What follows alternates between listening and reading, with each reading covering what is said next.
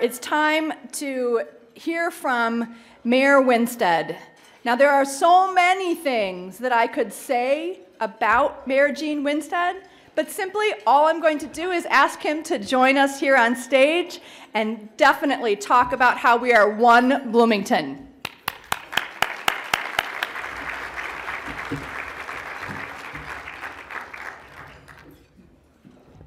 I'm glad she was brief in talking about me because there's certain things that shouldn't be said. And welcome.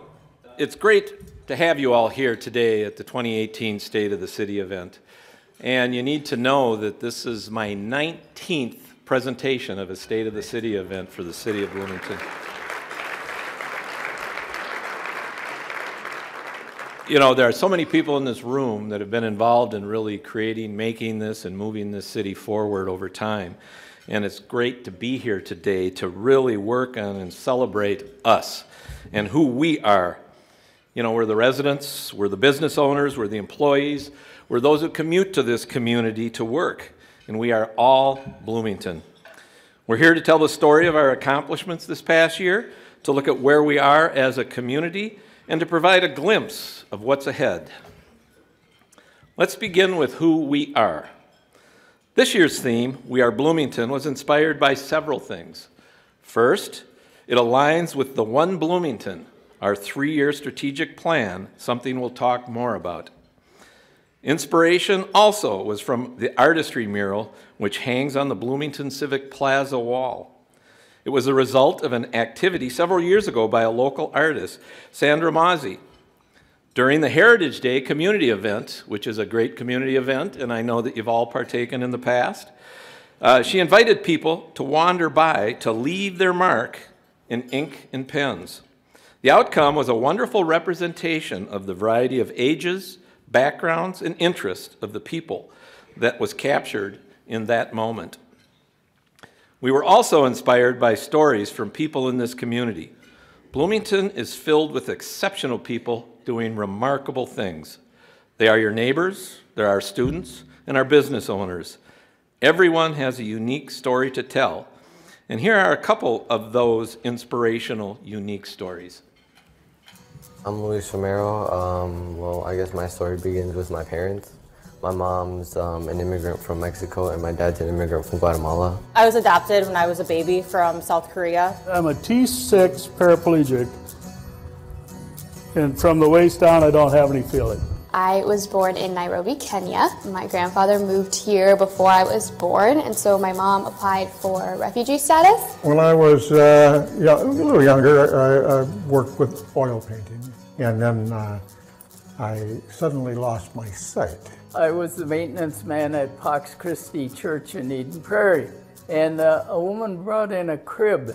So that afternoon, I'm sitting there, and I say to myself, why can't we do this?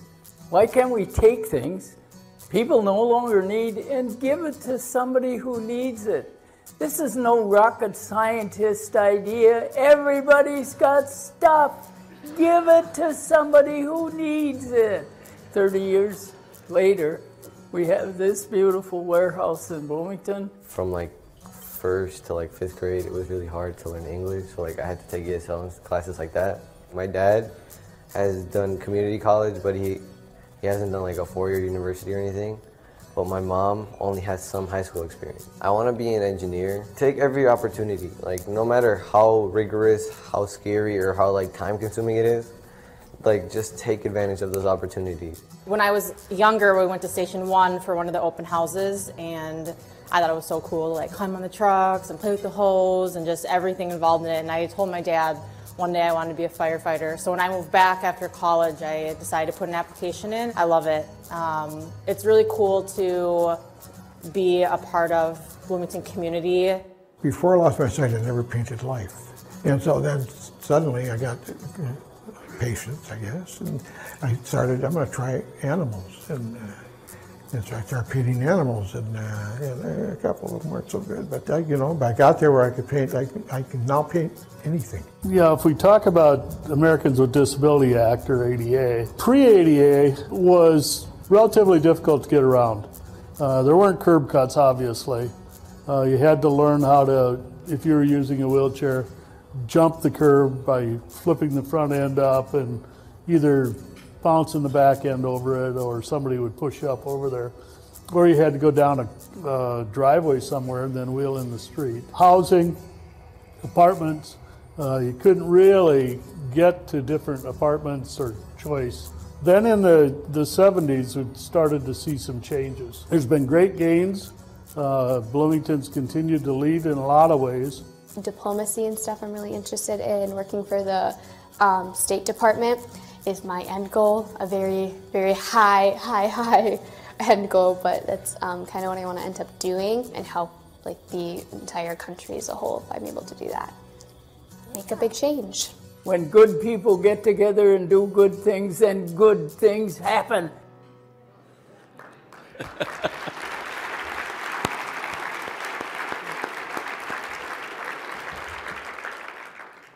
Some of the people from our community, these inspirational people, are in this video and they're here with us today.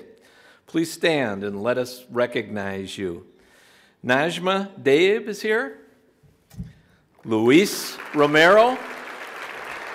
Fran Heinzman. And Ken Dobratz are here with us today. You know, just look around. These are your neighbors who represent all of us.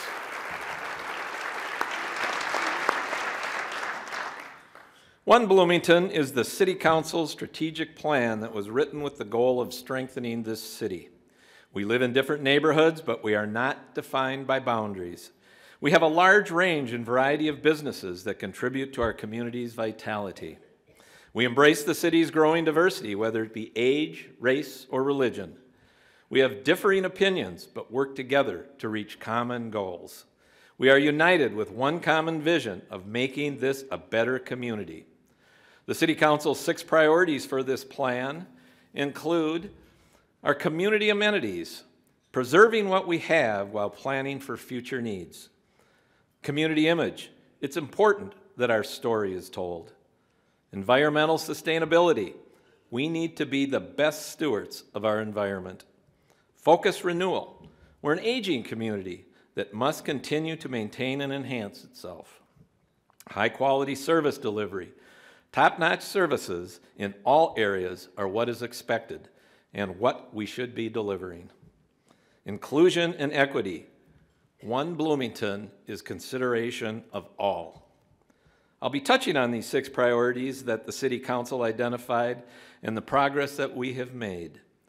One reason we're here is to celebrate our accomplishments. And let's take a look at what this city, what this community has achieved over the past year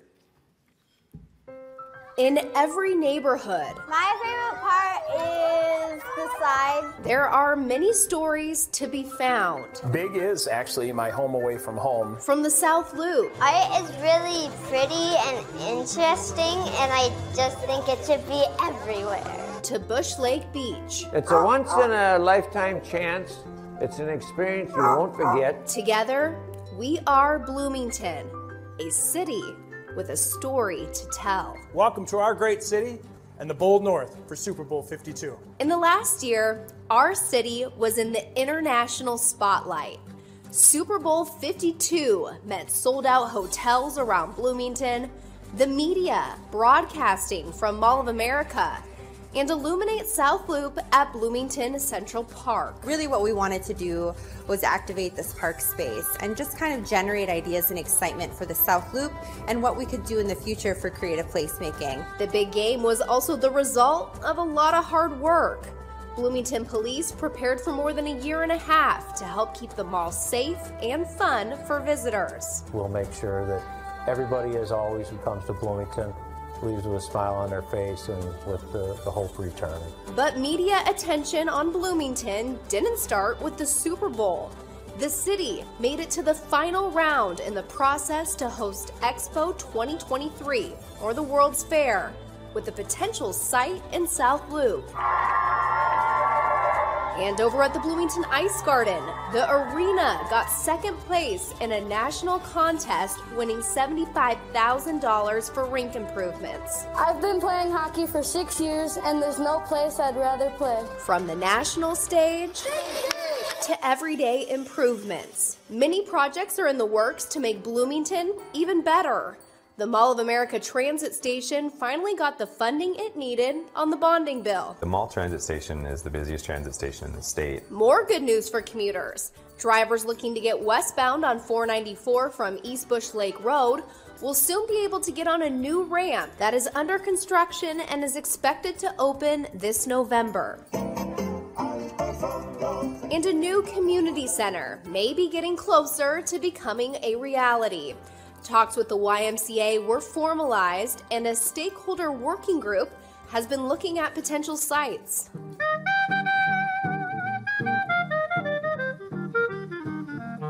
Speaking of community, people got out and enjoyed their city and each other during many events. From safe summer nights with the Bloomington Police Department to a creative placemaking happy hour in South Loop. There, people celebrated all the art popping up in the area. They all start to create an artistic conversation on the Bloomington South Loop campus. It's not just uh, so much solo pieces of artworks, you're running into them more now, so it becomes a part of the overall experience. And many of these projects wouldn't be possible without partnerships. Last year, the city teamed up with the school district for a new playground at Valley View. It has more um, stuff to do, has a lot of levels. The old playground was a little boring, and the new playground is funner. Several agencies also band together to fight buckthorn at Oak Grove Elementary School with goats. I think they're pretty cool. I think they're helping the school environment and eating all the buckthorn so other more plants can grow. Making spaces better. That is what is at the core of all city services. It's been a really kind of welcoming place to come into. And giving each person story. We're not just a suburban city and stuff. We got we got good places. A special place to be told. Goats and kids and trucks, it's all happening in Bloomington. But also earlier in 2018, we welcomed three new council members. At large council member Nathan Coulter, District 2 council member Sean Nelson, District 4 council member Patrick Martin.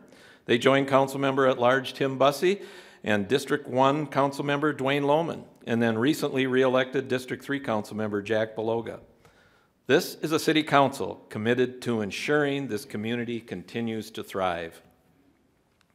Bloomington works, and we are a top employer in the metro area.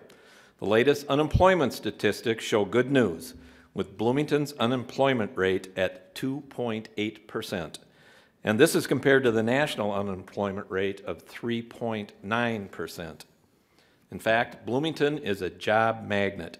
Of people who work in Bloomington, 84% commute in from elsewhere and other cities. A recent MinnPost article looked at which Minnesota cities are bedroom communities and which are job centers. In terms of net commuters coming in, Bloomington ranks second only to Minneapolis in Minnesota, with a net inflow of even more commuters than the much larger city of St. Paul. Having so many jobs in Bloomington is good for its residents and good for its tax base. And of course, what helps bring these people here to work?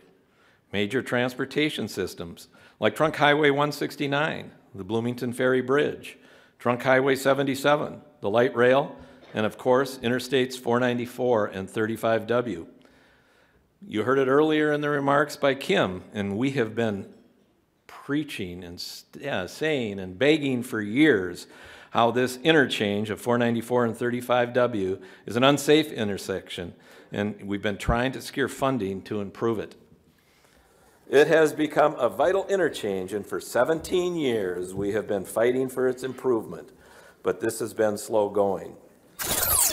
I 35W and 494. For a decade, I have been speaking to this one, and it's been a long journey working to improve this interchange. Constructed more than 50 years ago, the interchange is showing its age, with congestion and safety being its major drawbacks. Can you say broken record? It's uh, been something that we have been working for, and obviously you've heard a lot about it before. This roadway sees about a half a million vehicles each day, and the area around it has developed substantially. About a fifth of all Metro jobs are along the 494 corridor. The total price to redo the interchange is now in the range of $400 million. But we can get something done, and the first phase of that could be about an $85 million project. We have submitted the project through the state's Corridors of Commerce program and should hear by this April if this project finally gets chosen for funding. We're still fighting, we're still working on it. Businesses who help employ those commuters are thriving in Bloomington. You saw new development in the video earlier. Others along or very near to 494 and 35W include a software company, A OATI, a software company that caters to the utility industry, they constructed a 110,000 square foot office building and data center. Their building is unique as it has both solar and wind power on the roof and houses other alternative energy sources. The Great Wolf Water Park Hotel had major renovations to every room as well as the water park. The Preserve at Normandale Lake it is a 175 unit apartment building and is the third new large residential project that opened in the Normandale Lake District. And in South Loop at 26th Avenue, across from the Mall of America, a three tenant retail building with Hazelwood Restaurant, The Grind, and Jimmy John's has opened. And there's also a Marriott AC Hotel that opened a 148 room, five story hotel with a 326 space parking ramp. And by the way, good to get recognition on occasion.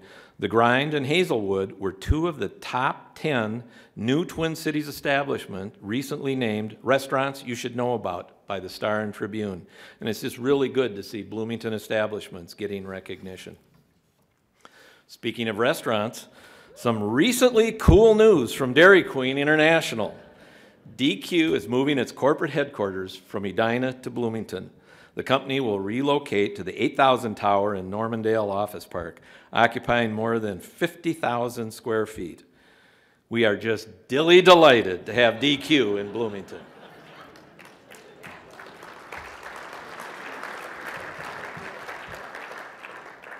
Bloomington South Loop District continues to be the city's largest area for growth potential.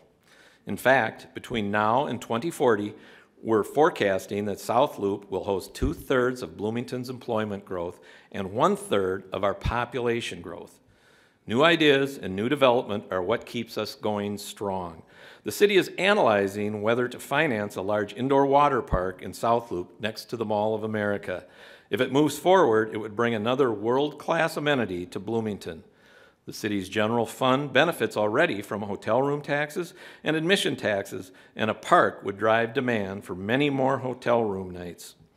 We are being careful so as to make sure Bloomington has minimal risk if this project moves forward. The Bloomington hospitality industry is second to none, and I'm excited that in the near future, four new hotels will add to the city's more than 9,100 hotel rooms. Cambria Suites will build a 164 room hotel and restaurant in the South Loop on 28th Avenue. Also in South Loop, True Home 2 Suites will erect a 182 room hotel on East Old Shakopee Road. Holiday Inn Express is planning a 171 room hotel along the 494 strip in the vicinity of the Minneapolis St. Paul International Airport. And a 7,000 square foot restaurant and 214 room hotel will be coming to the 494 in France area as Drury Inn goes up on Minnesota Drive. As stated in the video earlier, we had tremendous exposure on the national and international stage this past year with the Super Bowl, the X Games, and Expo 2023, the World's Fair bid. What people from around the world discovered about Bloomington is what we already knew about this community. People became aware of our great location, our natural beauty, lots of parks and open space, international attractions, all the corporate headquarters that are here, and really quality living. We are a vibrant and diverse community, and there is much to love about our city. On the local stage, we conducted citizen surveys for the sixth year in a row and had some of the best results we have ever seen. Bloomington continues to have strong livability scores. Nearly 9 out of 10 respondents said they would recommend Bloomington as a place to live. 92% rated the overall quality of life here as excellent or good, and this is up from 85% in 2016. And 95% favorably rated Bloomington as a place to live, and this is up from 90% in 2016. One reason people love it here is because it's a great place to raise and educate their children.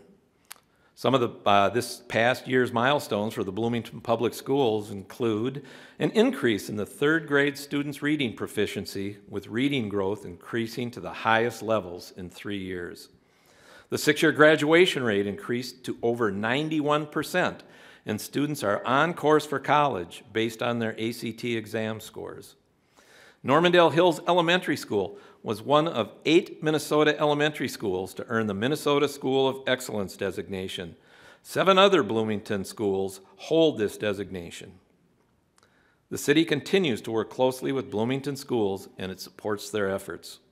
We know the quality and reputation of the schools is important to the future of our community. In the surveys, 90% of respondents rated their neighborhood excellent or good as a place to live. And we are continuing to work to ensure that all neighborhoods continue to thrive. For example, the Neighborhood Focus Area Initiative provides extra resources in specific areas of the city. The initiative provides resources for housing rehabilitation, sidewalks, park improvements, and loans for curb appeal enhancement for homeowners in selected neighborhoods. Continuing on the great progress we made in 2016 and 2017, the neighborhood selected in 2018 is south of American Boulevard, west of Portland Avenue, north of 91st Street, and east of Pleasant Avenue. Creative placemaking works to build vibrant, distinctive, and sustainable neighborhoods through the arts. Uh, coinciding with the Neighborhood Initiatives Project and the park improvements is the Wrights Lake Park mural, a creative placemaking initiative from the city and artistry that will be created on the 2,800 square foot retaining wall adjacent to Highway 77. Artistry and Good Space Murals led three community designing uh, visioning sessions, one of which included students from grades 6 through 8 to envision what they wanted to, to have represented on the mural. The mural will help create a strong identity for the neighborhood highlight the park and regional bike trail, beautify the area, and discourage future graffiti. The community led process is intended to foster community pride and deepen community involvement and engagement. And just this week, we received the concept idea of what the mural will look like. Six additional painting parties will be held throughout Bloomington in May and June. A celebration event and painting party will be held on June 23rd. And finally, the installation will take place in August of this year. Last year was a busy year for parks as we continue to improve these wonderful amenities all over our city. Playground improvements were made at 13 parks and at Valley View Elementary School. The majority of the improvements replaced playground equipment that was originally installed almost 30 years ago. This year, the Running Park playground replacement will be completed, and each of the 14 improvement sites will receive picnic tables, benches, and bike racks. Residents have long expressed a desire for a more modern and comprehensive community center. Last year, the city entered into an agreement with the YMCA of the Greater Twin Cities to explore the possibility of being a partner in building a community center in Bloomington. A stakeholder working group made up of representatives from the city and the YMCA has been working to move this project forward. The school district was recently invited to be a partner in the process and participate in the working group. The biggest task the on the group's plate right now is identifying a site for the new community center. Once a site has been identified, the next step is to undertake market research to identify key features and programming desired in the facility.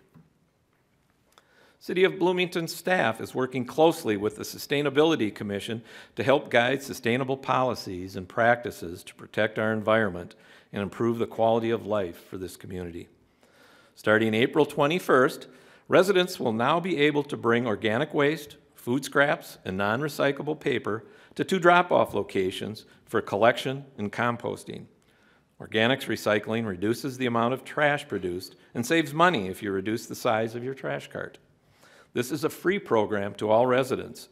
We also are in the third year of the city-operated garbage and recycling program. It was a challenging undertaking, but it is working for the benefit of the entire community. Of course, we need strong financial management as one of our goals.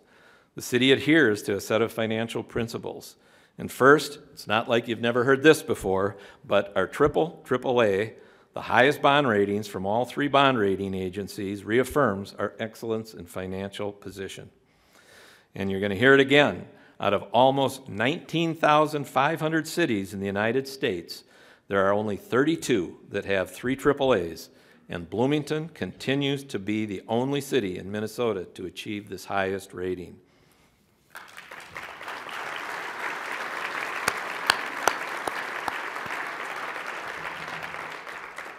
Second, at a cost of $78.26 uh, per month for city service for the median value home, Bloomington compares favorably with other cities in Hennepin County. In fact, we are at the low end of cost to deliver services, so we are ensuring a great value for our residents. Third, we want to ensure you receive excellent value for the $78 per month.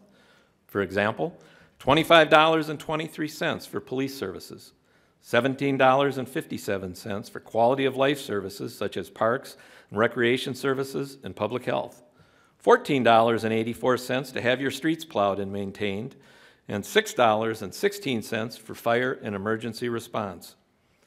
Around 60% of the total monthly bill goes toward the public safety core services of police, fire, and public works which, according to the Bloomington City Survey, continues to be the highest priority of services for both residents and businesses. Firefighters alone responded to more than 1,800 911 calls for service in 2017, including this call, which happened just yesterday. Firefighter Robbie Smith rescued a dog that had fallen through the thin ice in Hague Park on 83rd, 83rd and Penn. The dog, cold and wet, but happy to be out, was rescued and returned to the owner. We are Bloomington. 1,900 calls for service from our fire department, public safety. It's, it's an amazing number. But we are Bloomington, a strong, united community doing great things. And really, a challenge here for you is how will you make your mark? It's important that the impact we make today will positively affect the generations to come. And you can see, like these kids, your kids, and our grandkids, this is how I worked the grandkids into the presentation again this year. You're all familiar with that. It's there, but it is important that we make a mark that is something that can affect positively future generations. So at this time, and I'm, uh, I'm here to introduce Jamie Verbrugge, our Bloomington City Manager, and he will provide you with additional insight about the city services and initiatives and the people who provide these services. City Manager Jamie Verbrugge. Mr. Mayor.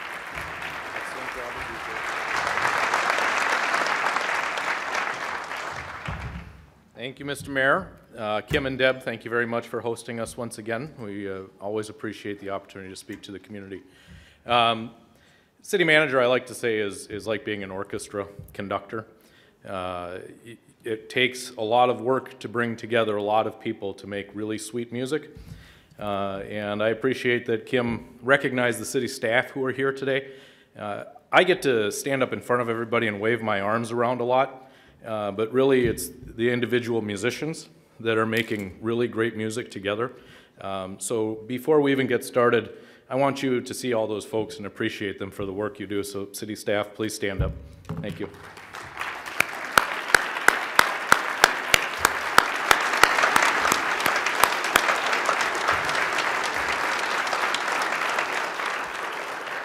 My hope for all of you is that you get to go to work every day in a place where you get to work with smart and passionate and really talented people because I get to do that every day and it is really a privilege to be here at the City of Bloomington. So all successful organizations have visions to establish a purpose, and to guide their future paths. The city of Bloomington's reads, as a result of our actions, we will be a courageous and inclusive organization of engaged and empowered professionals working together to create a thriving and vibrant community for all. And it takes committed leaders to carry out this vision. This past year brought new leadership to the city with new faces and some of our own developed talent. Eric Johnson was hired as our next community development director. Eric just started this past Monday. He's not here today because I have him in a three day training, uh, so we have to get him fully immersed right away in what we do. Chris Wilson, our former human resources director, was promoted to assistant city manager.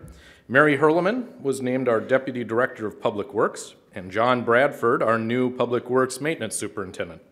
Scott Anderson was promoted to utility superintendent, the police department, Mike Utecht was promoted to commander, and Peter Curvers was named our new golf course manager. Now, all but one of these positions replaced city staff leaders who retired after many years of service.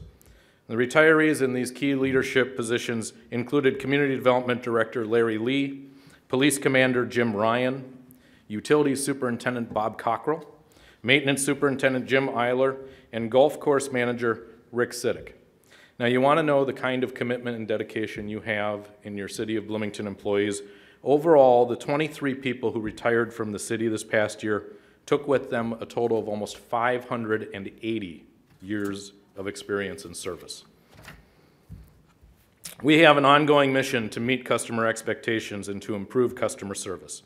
We're continuing to track our progress through citizen surveys and through focus groups. And it's important for the leadership of an organization to understand the work that employees do.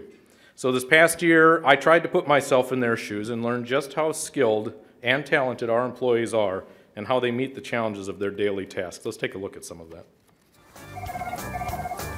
Good afternoon, City of Bloomington. How may I help you? I think a lot of these folks are uh, too good at seeing me parked here. So how fast am I going right now? You're going two.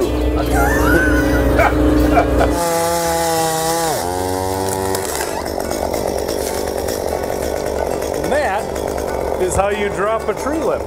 Very good. Look to the right. You got the idea now. Yeah. You just go slow and dial it in. Ride the brakes if you need to. Excellent. Hey, there's one. Yep. What do you think about some criminal apprehension? Well, this is probably every police officer's dream is to take down the city manager. So I'm going to let you live out your dream right now.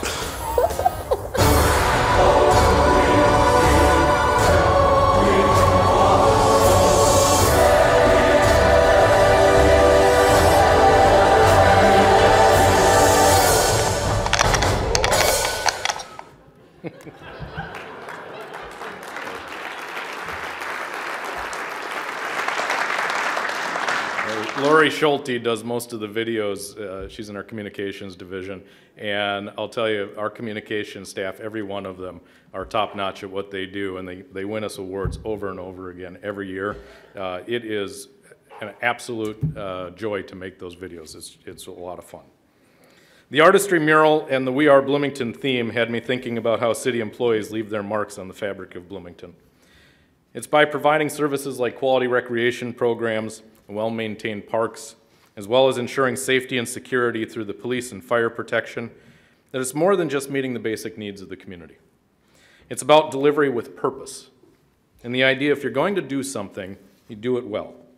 So some of the examples of excellence in service this past year included these. Our Bloomington Police Department won the Bloomington Convention and Visitors Bureau 2017 Spirit of Hospitality Award for their outstanding contributions to the city's hospitality industry. Officer Heidi Miller was named the 2017 Optimist Club Officer of the Year for the many roles she has served and going above and beyond in her service. Canine handler and detective Matt Heinzman and his partner Breaker received the Animal Hall of Fame Professional Award from the Minnesota Veterinary Medical Association for impressive achievements as a specially trained law enforcement canine team. And Detective Heather Jensen has been named the 2017 Minnesota Association of Women Police Officer of the Year, given to a female law enforcement officer who possesses excellent leadership, community service, mentoring, and day-to-day performance skills. And there's more. Bloomington Assistant Attorney Jennifer Cross was named to the 2017 DWI Enforcer All-Star Team for taking drunk drivers off the road and protecting lives in Bloomington. Jason Duke, the 2017 Firefighter of the Year for his, his, his exceptional dedication and his commitment to the fire department. Risk manager Amy Larson was featured on the cover of Public Risk Magazine as the international organization's president. And this first place award from utilities, well, you have to see this to believe it. On your marks. Get set, go! There's no question Bloomington utilities workers are skilled. But did you know they're speedy too? Like really, really speedy? pretty synchronized. It takes a while to get everything perfect where we're both on the same page and where you don't get in each other's way. You know, even if one of us is lacking behind a little bit, we, we can usually tell, and one of us will pick up the other person a little bit and help them out. That's how Justin Johnson and Chad Bauer explain the art behind the hydrant hysteria competition at the American Waterworks Association conference. Utilities workers from around the state compete to build a fire hydrant from start to finish as fast as they can with no mistakes. A juggling act that took Justin and Chad 1 minute 38 seconds, a time that nabbed first place. A feat this duo is familiar with. In 2016, we went to Duluth and won there, and then that got us to go to nationals, which is in Philadelphia. and we got first there too as well. And now they're headed to nationals again in 2018. First time we did it, it was a little nerve wracking. Now we're getting more used to it, so I think that helps. They're also getting used to the demands of their day job. We have right around 5,000 hydrants in the city that we maintain twice a year. You know, so we got to know how to work on them and repair them when they're down. And if Chad and Justin are there, they're sure to be repaired in record time.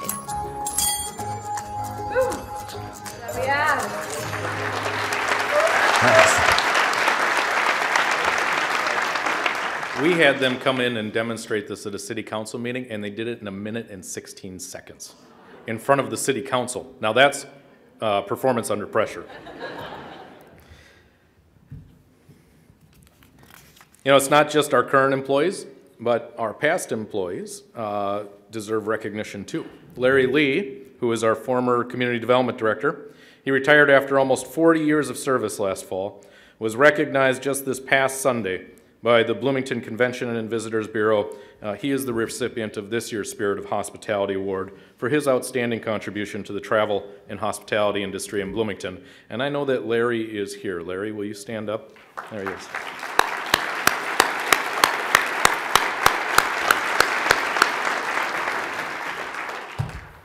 Did you know that Bloomington was an All America city? One of the key reasons that Bloomington became an All America city in 1960 was because of our response to a major drinking water issue in the community. Now, following World War II, the demand for housing in the Twin Cities area caused a building boom in Bloomington.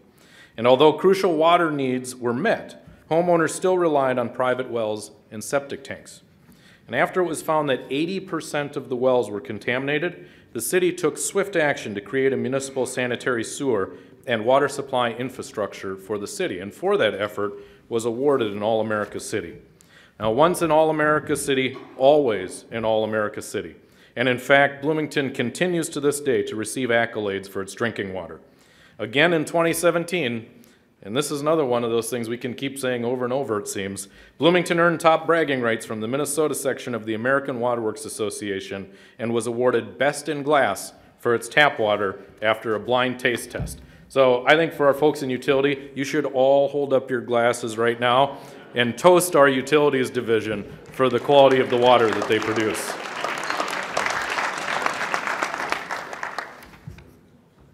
You know, the city's trying to find a role to play and to create a safe and welcoming environment for all. The council recognized embracing and celebrating these changes as a priority in its strategic plan. City staff again participated in the Government Alliance on Race and Equity program, and we're working to finalize our plan and our toolkit for advancing racial equity. The vision is that the city of Bloomington will act courageously to advance racial equity. We will be a vibrant, safe, and healthy place where people of all races will thrive. In Bloomington, we acknowledge our differences and we want all individuals to feel safe and respected. And we stand with all in our community, and nothing is going to deter us from this vision. We support everyone's right to safely worship the faith of their choosing. Now, last August, one of our community gathering places was targeted in an act of terror that was meant to discourage the spirit of welcoming. That gathering place, Dar Al-Farooq Community Center, has been a valued member of this community for seven years, and it's the second Islamic place of worship in our community. This faith based organization is thriving, as demonstrated by the level of participation in the center's activities. And, ladies and gentlemen, as the mayor and this council has said, an attack on any member of our community is an attack on our entire community. So we're here to stand together today to say there is no place for hate in Bloomington.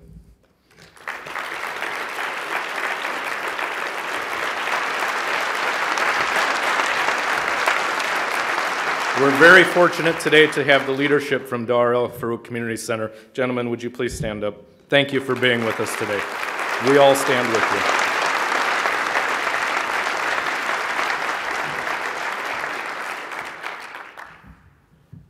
You know, other programs focused on inclusion and equity include Bloomington's Learn to Lead initiative. It's a free program designed to empower individuals in the community to become involved in local government, including in the schools, uh, in the city, in nonprofit boards, and on our commissions. Diversity and inclusion in government promotes diversity, inclusivity, and equity within our city organization. We held employee panels that were well attended by our staff and provided learning opportunities and exposure with sessions on LGBTQ, immigration, and aging. And we hosted Students in Government Day to give students who might not have an exposure to how we work and what we do an inside look into how cities operate, and an opportunity to build relationships with a mentor to learn about roles within the city. And Bloomington is becoming more diverse, but the pool of law enforcement candidates is not as diverse. So our Bloomington Police Department is tackling this challenge with a new program we call Pathways to Policing. Let's learn about that. From pit maneuvers to radar. This police training is standard. Follow this pen as I move it using your eyes only. But the candidates aren't. So you want to stay right here in front of his face. Abigail Smith has a bachelor's degree in criminal justice and a master's in social work. I was that kid that always wanted to be a cop. I just wasn't ready. After doing social work for about a year and a half, I kind of realized, you know, there's a more beneficial way and, in my opinion, a more productive way to make contact with people, to help people, and that's what helped me make the switch. Stephen Nua has a bachelor's in psychology and worked as a counselor for juveniles with mental illness. I guess my interest in law enforcement kind of sparked my senior year of college when I took a criminal law class, which I really enjoyed the class. I feel like I understood it a lot better than most of the classes I've taken in the past. And Rajane Michael started small and worked her way up. I started off as an explorer, which was like the very bottom, and then I was a CSO for about a year and a half. Then I was a cadet for 16 weeks, and now I'm a police officer. So for me, it was like a really big accomplishment and really proud to be where I'm at right now. And like their backgrounds, Bloomington's three newest officers were hired in a non-traditional way through a new program called Pathways to Policing. Typically, we would hire police officers from a pool of candidates that already have uh, either a, a job in law enforcement or they have their post license. The Pathway to Policing program uh, allows us to expand our pool of candidates to folks who do not already have all of the required law enforcement training. Uh, the concept is we would hire them and then we would then provide them with that training. And Police Chief Jeff Potts says removing that barrier to help with training can make a big difference for many different people especially people of color. In Bloomington here, I've, I personally have been hiring police officers for about nine years. And uh, what I've seen in that period of time is our community is becoming more diverse uh, at a pretty rapid pace, actually. Uh, and, and in terms of the pool of candidates that we have to choose from for police officers, that pool of candidates was not very diverse. As we see our community change in terms of demographics, I feel it's important for the police department to kind of go in the same direction in terms of the diversity that the community is going, so that we can maintain this high level of trust that we enjoy right now on into the future. The Bloomington Police Department's Multicultural Advisory Committee was recognized by Bloomington United for Youth for its work to help strengthen relationships between the police department and the community. They've done this in particular with youth through programs such as Holiday Helpers in Blue and the Voices Heard initiative. Artistry received the 2017 Omar Bonderud Award from the Bloomington Human Rights Commission for its intentional effort to reach out to diverse populations, ensuring access to the arts through a wide variety of programming. Artistry creates special opportunities for students, people with disabilities, older adults, and individuals who have low incomes to make programs more accessible. The award was named after Omar Bonderud, who was the first chair of the Bloomington Human Rights Commission, and it recognizes an individual organization for their efforts to ensure human rights for all Bloomington citizens. Artistry is a great asset to this community, ensuring that the arts are alive and well here in Bloomington. And we're fortunate to have so many cultural opportunities and experiences here. A really fine example of that is one of our other partner arts associations, Angelica Cantanti Youth Choir. Angelica Cantanti is celebrating its 37th year, and they've received quite a bit of attention this year.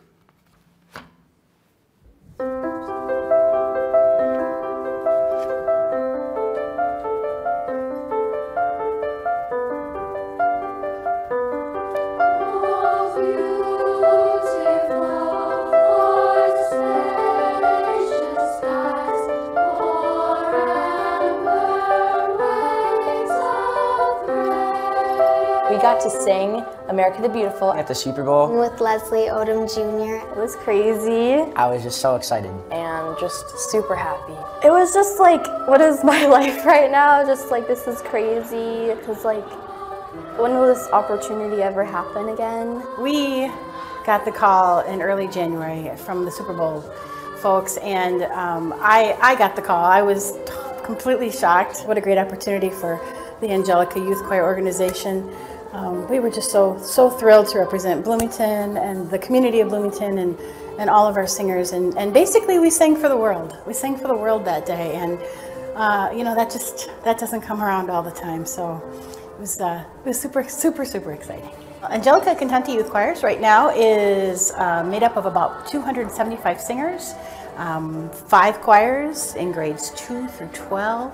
Um, these are singers that come to the Bloomington Center for the Arts once a week between September and May, and they rehearse um, uh, with four professional conductors that we have that are all full-time educators. The Angelica choirs have actually been around for 37 years right here in Bloomington. They started out as one choir. Our hope is that our kids learn how to become more confident and they learn the skills of, of having a, a, a nice sound and a nice nice pitch and nice voice, and um, and then they'll find that they've got that forever for the whole rest of their lives. What I like about Angelica is that everyone's friendly and it's really fun. Just the fun atmosphere. I think it's just an amazing place to be. I love singing just because you get to like express yourself in a way other than like talking and it's a different form of art. It's just relaxing and it's fun to do and I just enjoy it. Just makes me feel happy. It's like a stress reliever almost, and you can just do it whenever, and it just makes you happy.